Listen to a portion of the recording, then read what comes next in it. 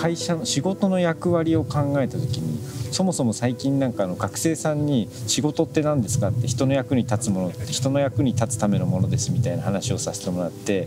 ぱり言うことによって自分で本当な人の役に立つためのものは何かな何かな何かなって思った時の一つ役割を考えた時にやっぱり街の発信をしていく街の地域のことを、まあ、人と人とをつなげることもそうだし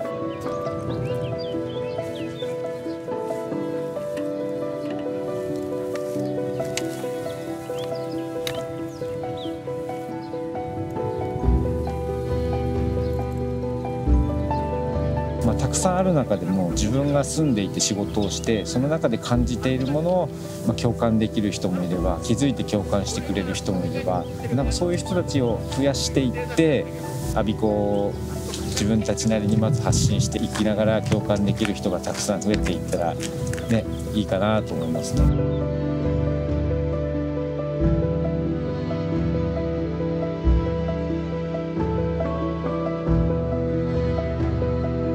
で我孫子のやっぱり一番良さというと、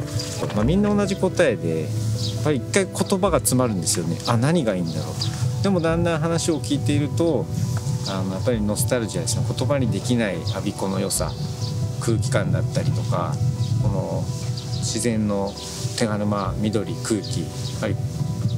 言葉にならない、まあ、今日もそうですけれどもいてて気持ちいいなという、まあ、それぞれ気持ちよさ違うと思うんですけど落ち着くというか。で最近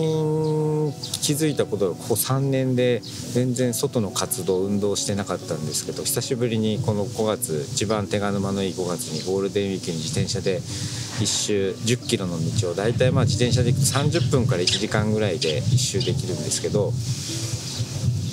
あのすっきりするんですよね終わった後。ですっきりするとやっぱり次何をしたいとかやっぱり新しい仕事の発想も浮かんでくるんで昔はそれがあって定期的にやってあってコロナがあってできなかったんですけど久しぶりに5月ゴールデンウィークに自転車で走った時にそれを感じてあこれまた活動しなきゃいけないなって最近街づくりしながらしようしようと思っても活動できないな。これをいい起点にスタートしようかなという、まあ、自転車5月4日ですね。4日一周した時にすごい天気も良くていろんな我孫子で働いてる人もあの家族で遊んでる人もいろんな絵が見えてそれをまずちょっと発信していくことをしながらまた新たに街づくりまあ、A ライフもそうですけどそんな活動やってきたらいいなやっていきたいなっていうのが今回の、まあ、中村さんに声をかけさせていただいてスタートした企画ですね。